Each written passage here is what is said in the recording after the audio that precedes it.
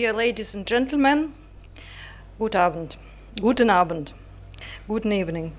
I would like to introduce myself to you as a historical book, uh, book author and artist. I was born in Lviv.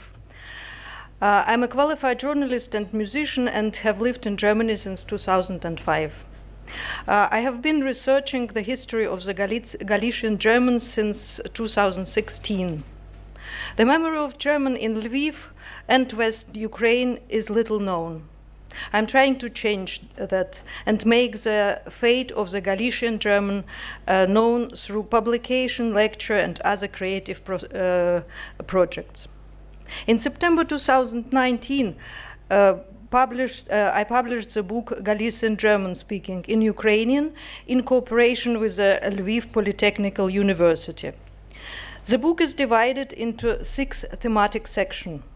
Germans in Galicia in the Middle Age, German settlement in the 18th, 20th centuries, Austrian Galicia, resettlement of Galician Germans, neighborhood with Ukrainians, history of Lemberg and Lembergers. In the cold winter uh, months of 1939-1940, 55,000 Gal Galician Germans left Lviv, Ivano-Frankivsk, then Stanislav, Drohobych, Stryj, Kole, and other cities of western Ukraine, then eastern Poland. From their homes, um, uh, and they went into the unknown. Who were they? How did they live? And why did they have to uh, leave their homeland? I try to answer the question in my book. In order to write the book, I uh, contacted the Association Committee for the Galician German in, um, uh, and recorded numbers of interviews with descendants of the Germans in Galicia. I also interviewed the descendants of royal Habsburg family Karl von Habsburg. I came across exciting documents from Stalin and Hitler uh, time in Archiv in the city of Kiev about details of the resettlement of ethnic German from eastern Galicia in 1939. My book was presented in Lviv Book uh, Fair in September 2019. Since the book uh, is published, I was uh, uh, giving numbers of presentation in the libraries of Lviv, Kiev, um, including Council of Germans of Ukraine, and also in the community of Karlsruhe, Stuttgart, Ellwangen, Kirn in Germany. Uh, the book uh, available for reading in the Martin Opitz Library in Herne in Germany since August 2020. The Martin Opitz Library is a central library of the history and culture of German uh, in Eastern Europe. The book and the research are receiving a very positive response in Ukraine and Germany. Ukrainians and German media uh, have reported on my uh, work and research with interest and great number of, in great number of occasions. Apart from the book writing, I combine my music performance in the historical topic of my interest. In cooperation with Ukrainian and German artists, uh, we uh, re-recorded all Galician German songs derived from the Archive of Galician Germans Volksmusik. In 2021, the Council of Germans in Ukraine invited me to conduct uh, an uh, expedition to the former German Galician villages. During six-day expedition, we visited a variety of objects related to German heritage in Lviv, Frankivsk, Kolomea, Stryj, and other Carpathian reg regions. As a result of the expedition, a photo exhibition in Kiev's uh, Science Academy and Virtual Museum of Galician Germans was organized. In year 2022, I produced the historical photo exhibition in Lviv at the Church of St. Ursula, the exhibition covers the topic of German church community in Lviv and Galicia till resettlement 1939. On the invitation of church community of St. Ursula Dome, I gave presentation where I spoke about uh, Protestantism in Austria and Galicia. The topic I addressed at my meeting and presentation are of great interest of different generations. My readers encourage me to further activities and research as uh, knowledge of the history of gi uh, gives people strength and represent a barrier against outside manipulation. This year I'm preparing a music program together with piano artist Vadim Zhuravitsky. Uh, he is a lecturer at the National Academy of Music in Kiev.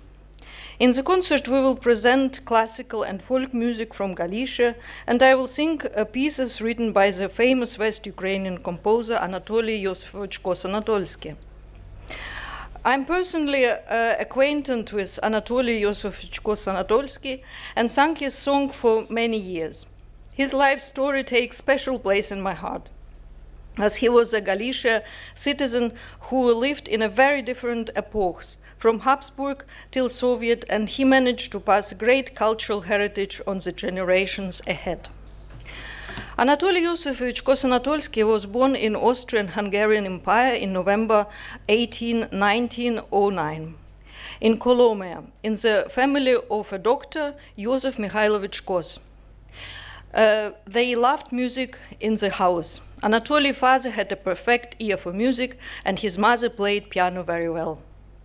Mikhail Kos, the composer grandfather, was a mayor of the Galician state Komarno. Joseph Kos, Kos Anatolievich's father, was a doctor and studied at the University of Vienna, where he received a degree and title of Doctor of Medical Sciences. Anatoly received musical education in a music institute Mykola Lysenko. But his father convinced Anatoly to learn another profession that would bring good income and prosperity into the family.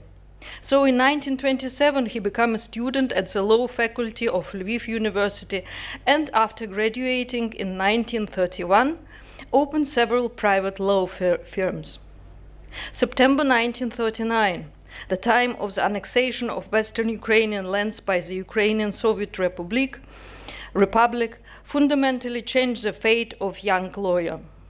The law firms closed and Anatoly Yosefovich got a job as a music teacher at school, worked as an uh, accompanist in a music school and the drama theater, wrote songs for children, musical interludes.